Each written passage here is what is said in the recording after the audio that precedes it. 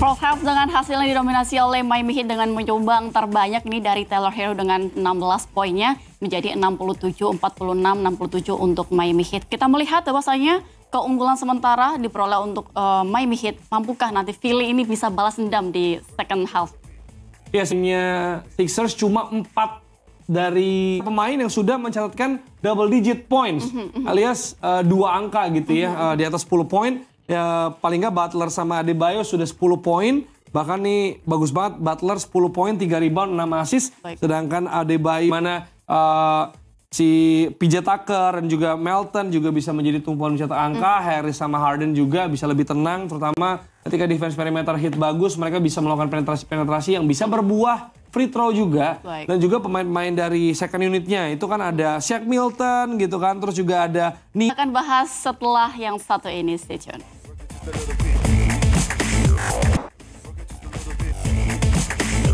Terima kasih Anda masih bersama saya Verta dan juga Jerry di studio. Tadi kita sudah membahas bagaimana penyegaran apa yang harus dilakukan bagi Philly dan juga beberapa pemain yang penyumbang terbanyak untuk Miami Heat seperti ada Butler, Bam Adebayo dan juga ada Tyler Hero. Dan Tyler Hero dan hari ini kita bisa melihat bahwasanya apa sih faktor yang mempengaruhi bagi Philly ini yang melakukan begitu banyak turnovers, Jerry?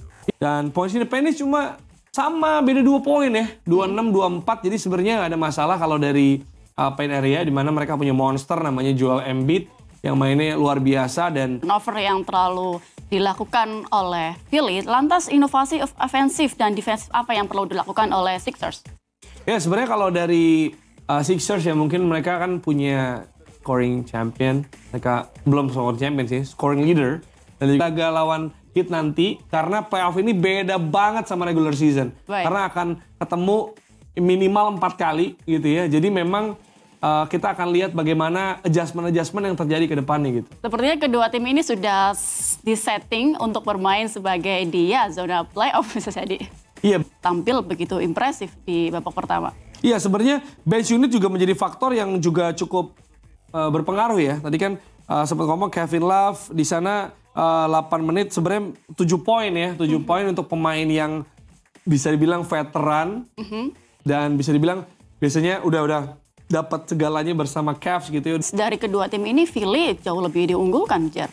Iya sebenarnya dari ketika ada transisi terjadi, jadi butuh fresh legs, butuh kaki-kaki yang segar untuk bisa uh, menutup laju cepat transisi dilakukan oleh Miami Heat gitu. Baik Jerry, terima kasih. Dan tadi kita sudah membahas beberapa performance dan juga inovasi defensif dan ofensif dari kedua tim. Hmm. Setelah ini kita akan membahas bagaimanakah akan jalannya pertandingan di antara kedua tim di second half nanti kita akan membahasnya setelah yang satu ini station.